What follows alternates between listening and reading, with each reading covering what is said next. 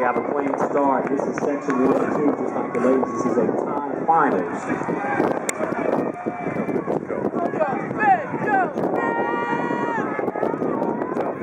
Best time coming into this heat is held by Hank of Southwest Encore Lane 4 of 52.71. Looks like he is in the mix and not in the lead going into the 200.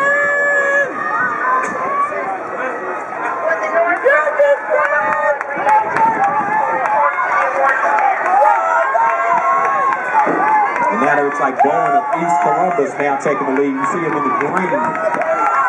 It's Bowen in three, Humphreys in four.